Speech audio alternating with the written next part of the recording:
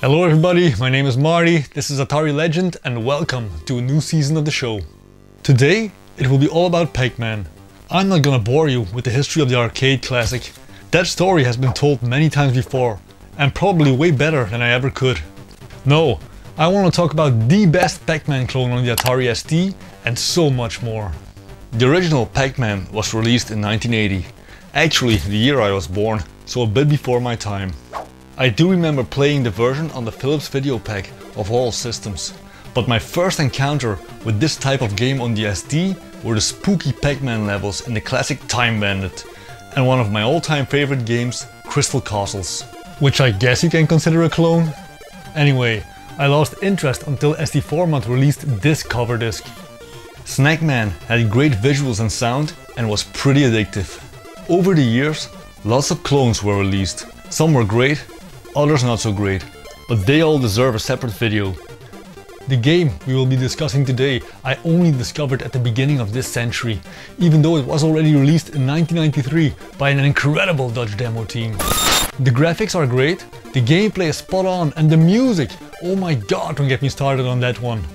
So let's pop some magic pills and join me as I play a little game of Crapman.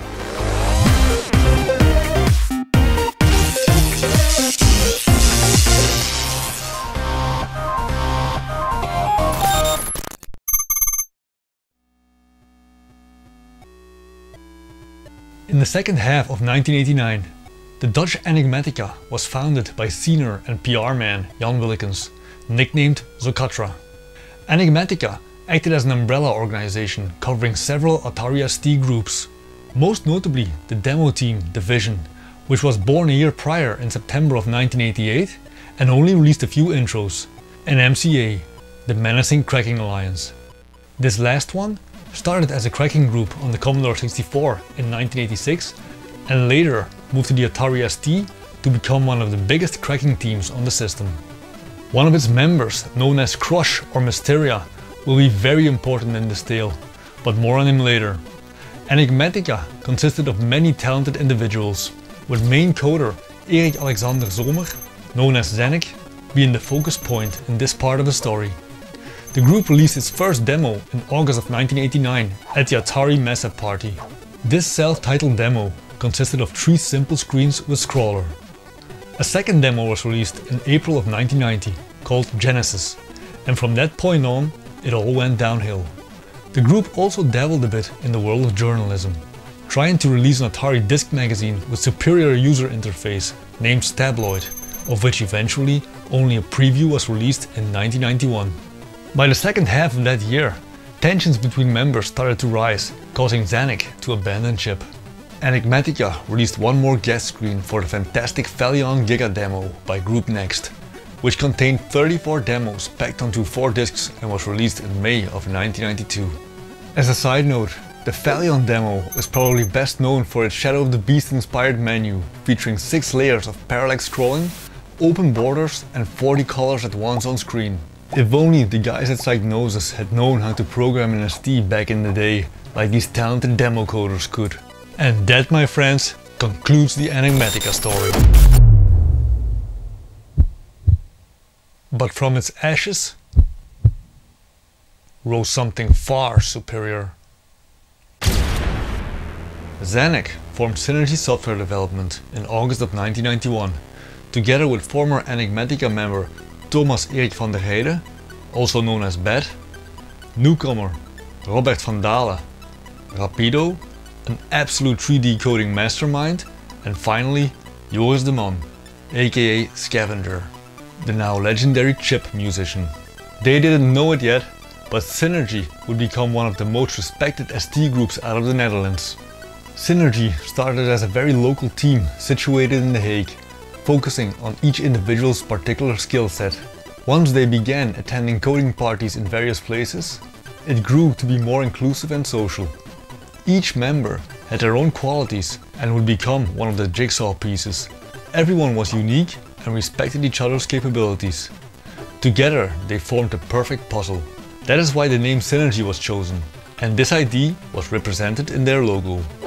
Right from the get-go, a mega demo project was planned by the members, which eventually took over two years before considered complete.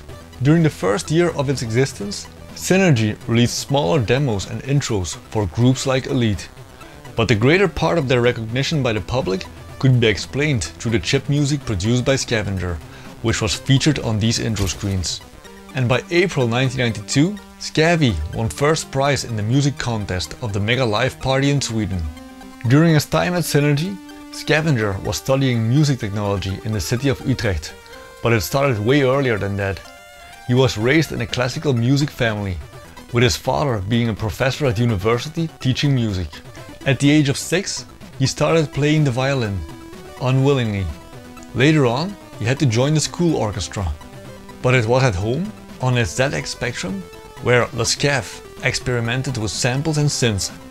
When a few years later, a friend of his dad showed him an Atari ST, which he was using as a MIDI sequencer, the time had come to invest in such a new machine. On the ST, he tried Activision's Music Studio, Microdeal's Quartet and eventually the TCB tracker. But it wasn't until he discovered the program TriSound when he started doing chip music properly. A bug in this program eventually led to the development of his own tracker tool called Chipmon, which would be released in 1993 but never made it past the beta stage. Scavenger was a very talented composer, creating very rich and catchy tunes. He brought some of the most advanced compositions to the ST, with breaks, progression and rhythm changes. And apart from that, he was able to find his own trademark sound by implementing a Commodore 64 SID chip style effect achieved by using MFP timers. The Atari ST sound chip, the YM2149, was only conceived to generate a square wave sound over three channels. It sounds like this. But by changing the sound volume of one of the channels very fast with the help of the 68000 CPU and the system timer, the square wave can be modulated. For pulse width modulation, this is what creates the SID sound effect. The volume is used to generate a second artificial square wave, which modulates the YM square wave. The phasing of the two waves results in a progressive change of the original square wave width. Then you get a sound like this.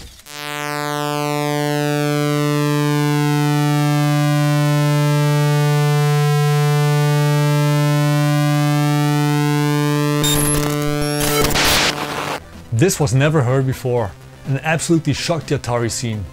For his tunes, Scavenger was inspired by Belgian bands like Front 242, but also film music. And of course other chip tuners, like the legendary Jochen Hippel and Count Zero. By September 1992, two Chipmon music demos were released containing a handful of tracks, which to this day are considered amongst the very best by many ST fans. After Synergy, Joris went on to create the musical scores for games like Killzone and Horizon Zero Dawn on the PlayStation consoles. For that last one, he even received multiple awards. Meanwhile, Rapido, Synergy's math genius, started showing what he was made of. He released the Beatnik Part 2 demo. This was a simple ASCII file containing VT52 commands, which, when running through the ST's terminal emulator, would display a bouncing, multicolored cube with rudimentary scroll text. While the group got reinforced with new members like Erik Sass, known as Stash, Arnoud Kinderman, aka Wingleader, Tjeerd Bruinsma, Mysteria, and others, they completed an intro with a brand new track for the DBA Disc magazine. The group was featured in a full-blown interview in issue 6. Wingleader released a Synergy Giga Deepacker, for which he got critical acclaim in the demo scene. But it took till December of 1993 for the Mega Demo to be released. After almost two years in the making, it was time for the team to shine. And that they did.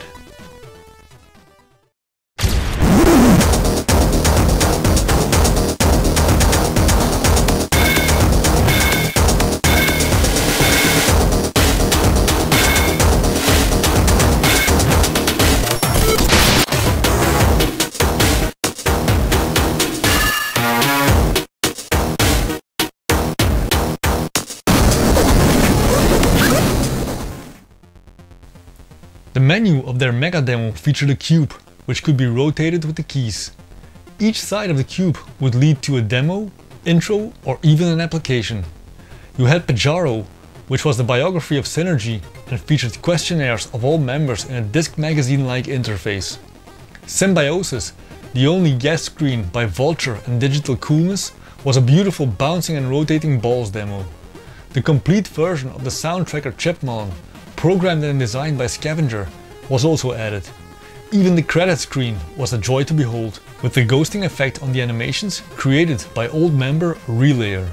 But the star of the show must be the side named Having a Period in 3D Space. This demo, which spans over 30 minutes, took almost one and a half years out of the life of Coder Rapido. The complete thing is rendered in real time and uses delta polygons. When displaying a 3D object, rather than redrawing all the polygons that the object consists of in each frame, Rapido's code worked out which parts of the frame already had the correct pixel color and draws the parts of the frame where the pixel color needed to be updated. It would calculate the delta or difference of the polygons between each of the frames. This gave a speed increase over just redrawing all polygons from scratch. He also used logarithmic math to avoid the multiply command, which increased performance. And every scene is accompanied with the most intense and beautiful chiptunes by Scavenger, making use of the new CPU-friendly playback routines of member Bat. Because Rapido discovered how pulse width modulation could be controlled in real time, all the animations you see are synced with the beats of the music. After the release of the Mega Demo, Synergy had plans to start working on the Falcon, but nothing really happened. Turned out the Synergy Mega Demo was their swan song. The end. Hmm. But didn't I miss one side of that cube?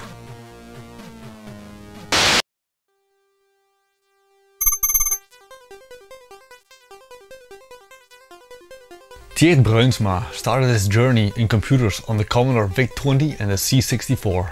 When the 16-bit generation arrived, he had to choose the Atari ST or the Amiga. The ST was a very popular machine in the Netherlands at the time, and because some of his friends owned one, it was an obvious choice for him. Tjeerd was always interested in games, programming and the scene. The first game he ever played was Pac-Man at the arcades, and ever since that experience he wanted to make a Pac-Man game of his own. So at the beginning of the 90s, while still a member of Aenigmatica, using the pseudo Crush, he started working on his own little project. When Aenigmatica disbanded around the summer of 1992, Tjeerd continued work on his game. When he eventually joined Synergy, this time using his nickname Mysteria, he already had a game that was very playable, with lots of the coding in place. Synergy were in the midst of developing their mega demo, and still looking for things to fill the size of the cube with. When Tjeerd presented his Pac-Man clone, the team hesitated.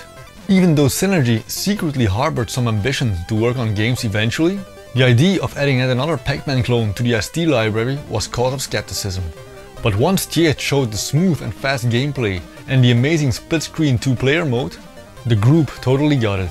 This was so much fun to play. They realized that with new graphics and music and a fun storyline, there was a real opportunity to make it their own. And Crapman ended up being the biggest team effort of the Synergy Mega Demo. Literally every member got involved.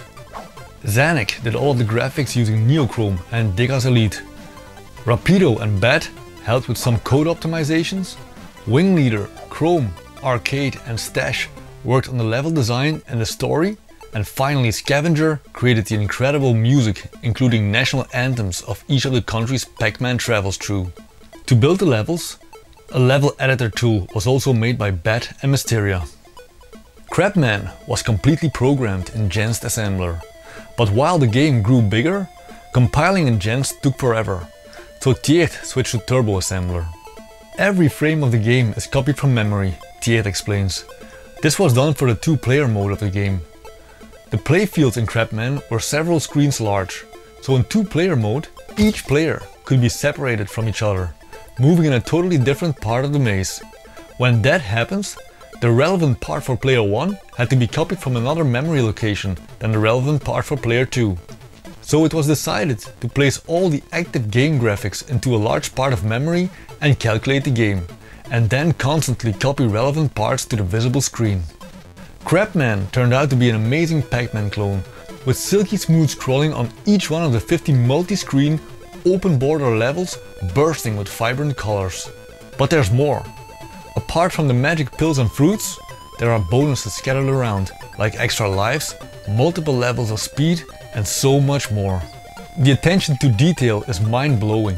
For example, when Crapman grabs a bonus, points are displayed on the playfield. When Crapman gets in the vicinity of these digits, they become transparent. Such a cool effect. But the best part is the highly addictive two-player split screen mode, turning Crapman into the ultimate Pac-Man experience, period.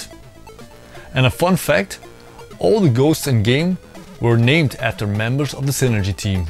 But why the game was called Crapman remains a mystery. In two-player mode, a second Pac-Man character with baseball cap enters the game, called Capman. Well I guess the Synergy guys wanted to goof around a little and added an R in the final name of the game. To this day, Crapman remains one of my favorites on the system and the two-player mode is a cherry on the cake. And that's it for now. Thank you so much for watching. I hope you enjoy the show and remember, stay Atari. Bye.